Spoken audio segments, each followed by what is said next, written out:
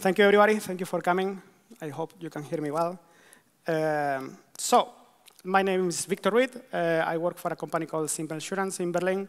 And I'm here to talk to you today about a personal project of mine. Uh, it's an open source project. It's private. It's work in progress. Not many people know about it yet.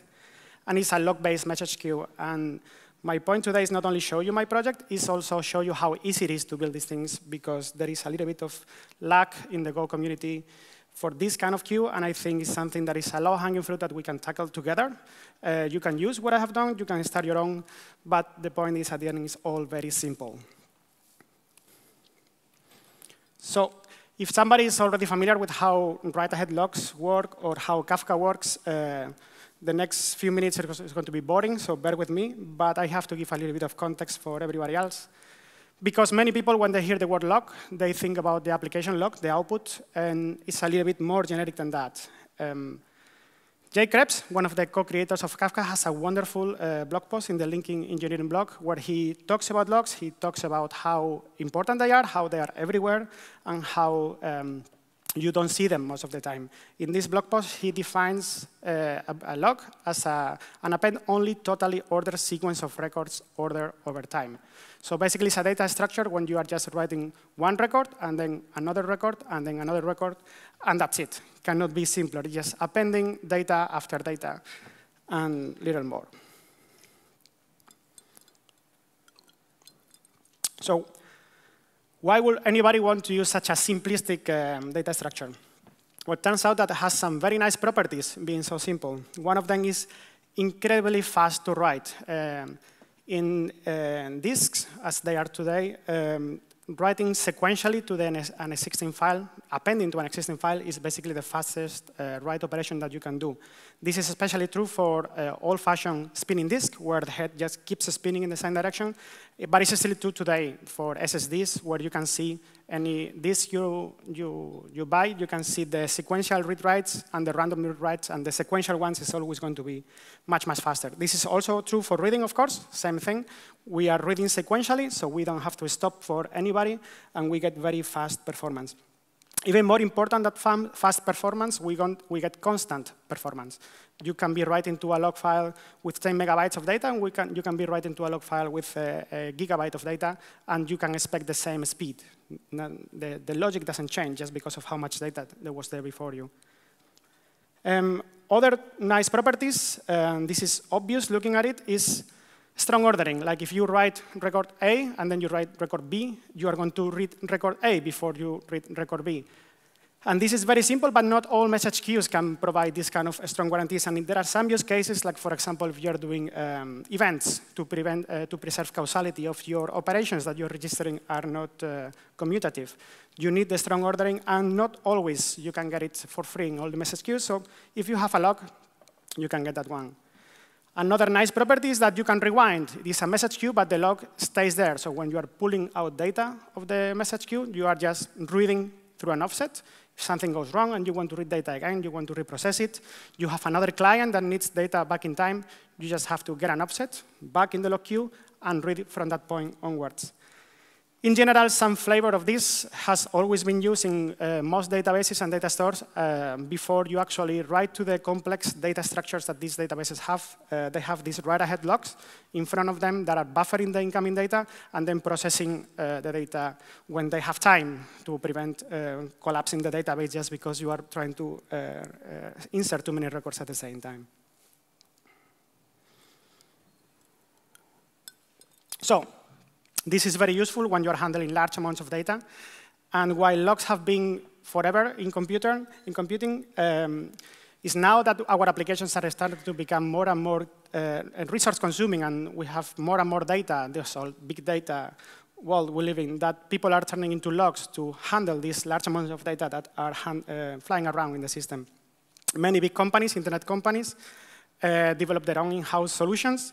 And LinkedIn open sourced their own in uh, early 2011 called Kafka and has since then become the state-of-the-art uh, message queue when it comes to, to log-based message queues and when it comes to managing large amount of data at a very high speed um, and with these um, capabilities of rewinding, strong ordering, etc. The principle of Kafka is very simple. It's a log under the, under the hoods, so a queue is just a file. There are producers, producers write to the file, consumers read from the file, creating a uh, PubSub system. Producers will, you can imagine this if it was normal logs, consumers are basically doing tail minus F on the, on the data pipeline, but in this case, it's uh, binary data or whatever data you want to put in it. It's not just human-readable um, data. Like any other log, uh, very fast writes, constant writes, constant reads, and in the particular case of Kafka, um, the throughput is really amazing. I mean, you get a lot of uh, a lot of nice things just by having a log underneath, and it's not a bottleneck. But Kafka has all kinds of crazy crazy optimizations like um, copying without uh, passing the user land and directly from the kernel to one device to another. They have a single um, single process to to write all the all the things through a single through a single thread. So all the writes are sequential, even within different queues. In general, it's a super optimized, high high throughput system. And also, it's a distributed system since quite a few versions ago. You can have multiple replicas of your data. You can have multiple shards. You can decide what are the, the replication um, settings of your data and how safe you want to be, um, depending on how much this space you are willing to take. It does this with the help of Zookeeper, which probably many of you are uh, familiar with. It's basically uh, the Java version of etcd uh, for us. Uh, the use cases are many. I will not go through them. Uh, basically, every architecture where you have to handle large amounts of data, you can probably benefit from this kind of uh, solution. So, I'm an architect, uh, so I architect systems, and I like simplicity. That's why I like Go. I like simple solutions. And while Kafka is a fantastic piece of engineering, it has a lot of man years put on it, I could not even think about uh, starting a Kafka version on Go there are some cases where Kafka is a little bit of an overkill, and Kafka is, like many other things, a gigantic JVM application that has a lot of drawbacks, uh, operationally speaking, and you have this fantastic error message sometimes that you don't know what they mean.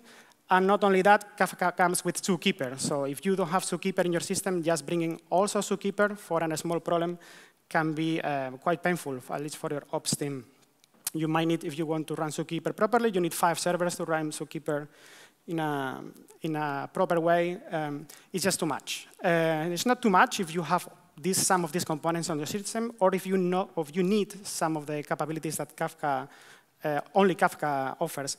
But for some simple cases, like let's say you have an ETL within your system, you have data on one side of your system that you want to process of your system, say that you have a bunch of CSV files uh, laying around that are picked up by different scripts and they are pushing things around, then something simpler uh, would be very useful. So Kafka has, like I said before, some crazy uh, performance uh, capabilities. It's a distributed system, has a lot of features like log compaction and things like that that are super great if you need them, but they are very difficult to implement. In the other hand, there are some things that are really easy. Like, for example, just by having a log as an underlying data structure, you can have a constant time and quite fast, even if not as fast as Kafka, read-write. You can easily define some sort of data retention management, where you define how long do data stay in the system.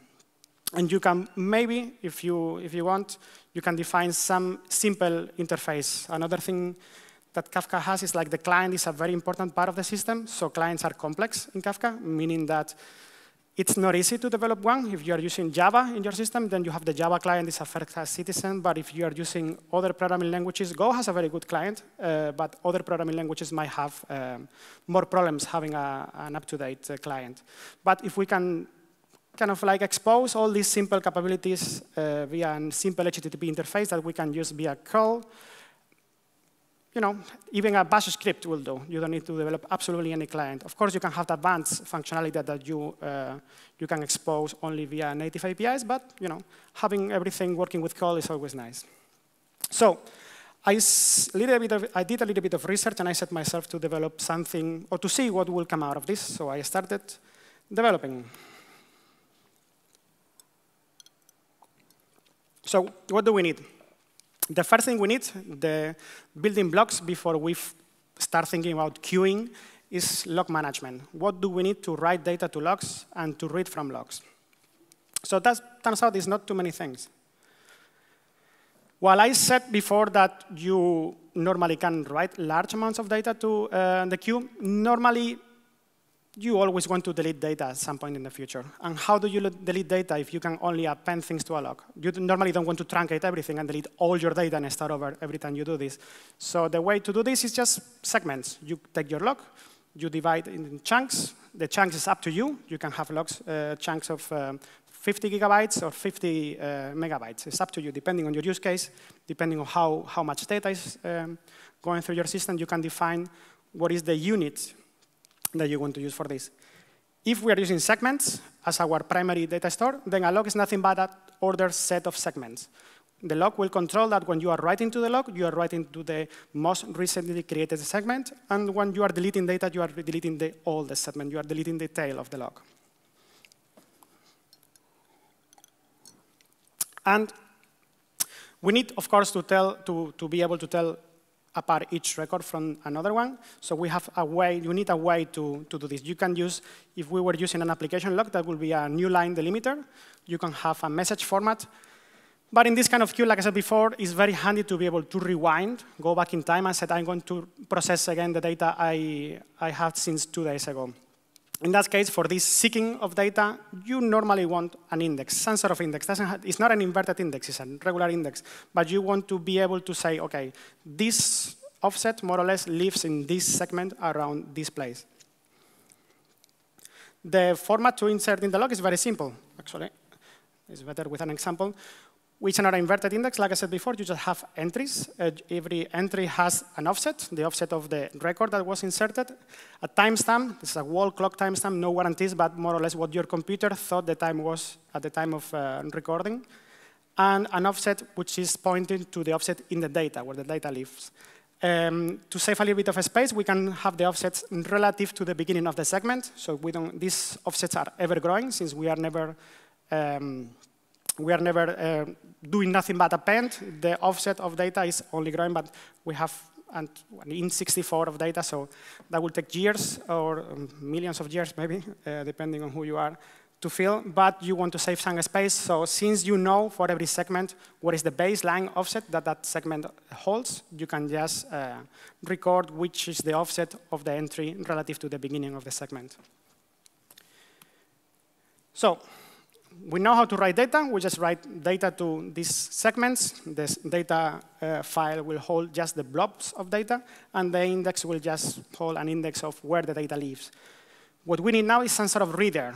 And in the standard library, you get the reader, um, the IO reader interface that will read uh, from anything. So you can implement it, let's say, to work as if all the, your data was living in one single uh, log you make it transparent for the user the fact that there are segments behind, and it's a very simple thing. You just create a normal file reader, and then you put a little bit of logic where you are switching the file underneath when you reach the end of file. And for the index, it's pretty much the same. You, you create a reader that will tell you for uh, every entry the offset, the timestamp, and the offset to the data. And you just make it transparent for the user the fact that there is uh, uh, segments underneath. You just keep reading. What other things we might need? We might need a watcher, uh, because normally when you want to know if there is new data, you want to get notified, notified if there is new data. You could use file system capabilities because you are writing, but since you are in your own application, you know where, when the write function is being called, and you can just uh, have people subscribe to a channel and say, hey, let me know when somebody is writing data to this, to this log because I might want to read it. So this is very simple, just channel uh, listening to, um, to write commands. You might want a scanner because all I mentioned before about the reading uh, data and index is a little bit cumbersome. You have to map the data to the, to the index and vice versa. But what you want probably is something similar to what the standard library does with BufIO scanner, which is uh, some handy functions that will allow you to read uh, files line by line. We can do the same. We can have pretty much very similar interface, where instead of line by line, we are uh, giving you record by record. And then we were not going through into it, but normally this one, one, by, one by one reading is not super efficient. Uh, it's low latency, which is good, but it's not very high throughput. Sometimes you want high throughput, which, mean, which means you have to give several, um, several records at the same time, same for writing. This is an streamer, but yeah, for today's talk, we will keep it uh, to a scanner, which is uh, one by one access to data. So these building blocks uh, I have put in one place. Uh, so if you don't want to care about these low-level low things and you want to build your own message queue on top of uh, this library, you can use it. How will it work?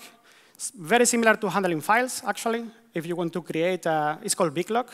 If you want to create a big which is basically a log underneath, you just to create like you will, uh, you will do with a file, and then you define how many pre-allocated index entries uh, there is. You don't have to worry too much about that. You just put a, sensible number. Uh, the only difference is like if you hit the number of records in the index, a new segment will be automatically created for you. Otherwise, it's just a little bit of more of disk space. And then you write to it, because it implements, like everybody should, the IO writer interface. This is Go. We love interfaces, especially when reading and writing bytes. You have to stick to them. And then you have some functions. I have mentioned here two. Uh, split. Split will just create a new segment out of the log. And trim. Trim will just delete the, all the segment out of the log. There is other functions in which you will get data of how many segments there are, segments there are what is the latest data that each one of them has, etc., so you can make that decision. But the basics is this. And after writing, we have to read, and reading uh, is very simple. We open, like we will open a file, we open a BigLog, and we just create a scanner from some point in time. There is a zero, which will be from the beginning of the log, but you can choose any point. In the library, there is utilities to transform uh, times, like you will say, like one day ago, two hours ago, two weeks ago, into an actual offset. So whatever that offset is in your system, and then you can just plug it in. But for simplicity, here we're creating a scanner from the beginning of the log. And then, just like we will do with a BufIO scanner, we will just loop, and we'll just call scan, and scan will become true every time there is data which data which can retrieve via the bytes function. And then we have this extra function called offset, which the BufIO scanner doesn't have, which just tells you what is the offset number of that record that you just, you just read. When you reach the end, scan will return false, and then you break out of the loop. You can, I mentioned before the watcher, you can use the watcher with this to not hammer the, the BufIO, the scanner all the time. And when the BufIO, uh, sorry, our scanner returns that you are at the end of the log, you can just block on the watcher and wait for new writes until you continue scanning again. So this is all very low level, and you can use it if you want. Um, but this is not usable. This is something that you can embed in your own application, or you can build your own log-based message queue on top of it. But I have built my own, like I said before, um, looking for having a user-friendly HTTP interface. Um, as I mentioned, segments are the, the thing that we have to delete, so we have to develop some sort of uh, retention management where you can define, I want to create new segments after segments hit one gigabyte, for example. I don't want to have segments bigger than that. Or I want to delete data or delete a segment where the segment has only data older than one month. And the, the queue will do that for you. You can just configure that per, um, per queue or per topic, as we call them, like mimicking a little bit of Kafka's um, naming. It offers some message format, although it's not necessary for the one by one, but for the batching, um, batching processes uh, for high throughput, it's necessary that you know exactly how the internal format of the message looks like. And I have already kind of got inspired by Kafka's format, which is very simple. Basically, you just define the length of the payload, you add a CRC for security, and things like that. And some long, long polling capabilities, so people don't have to, again, query the server all the time asking for new data. You can just block on the connection, and you will be, um, get some back a reply when there is new data available. so, demo. Oops, no, thanks, not yet. Uh, demo. You will excuse me, but I have decided not to do live typing, all these things in a live stage.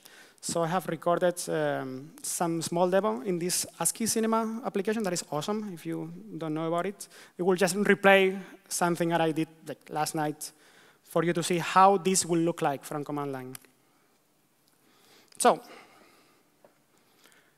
we create, create a topic or a queue in this case um, just created. It's very similar to how Elasticsearch will create an index. If you're familiar, it's very inspired on it. And we start pushing data. We just put one message. We put another message. This message is um, it's a string, but could be anything. Could be any binary binary uh, data. Could be an image of a cat, for example. We can inspect the queue. We see that we have one segment, and how much data does it take? It's mostly pre-allocated index. And then we create a scanner to start scanning from the beginning. We get a scanner ID that we can use. We're going to put it in an environment variable for easy reuse.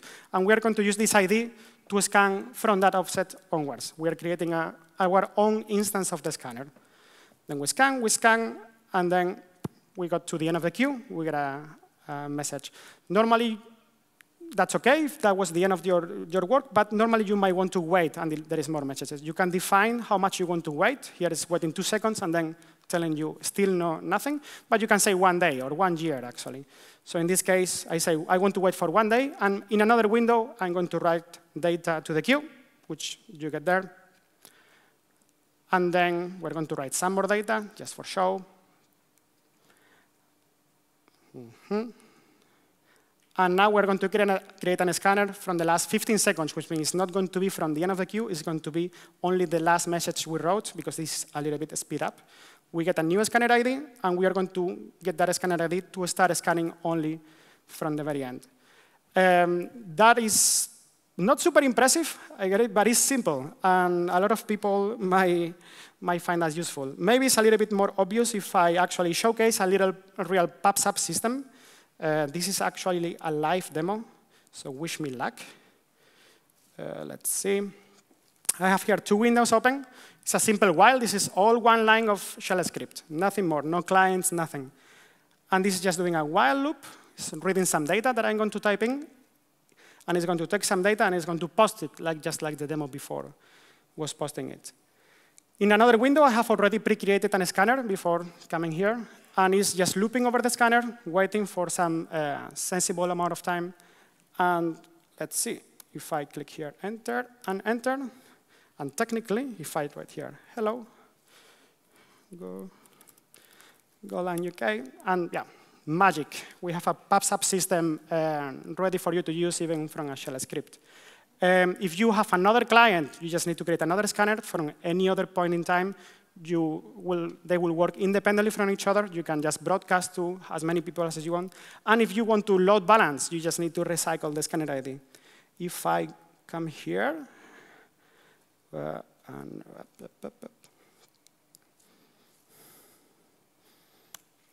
I can hear and I start typing hello again. Whoops, again went to the other one. And if I start typing one, two, three, four, five. I'm going to start to round robin all across the different clients that we have. And we can have tens of those. We can take them out, put them in, no configuration, um, nothing. Um, I wish I had more time, or I wish I had prepared for more time, but yeah, I blast through the talk. I hope you enjoyed it. And whoop. And thank you very much. Thank you.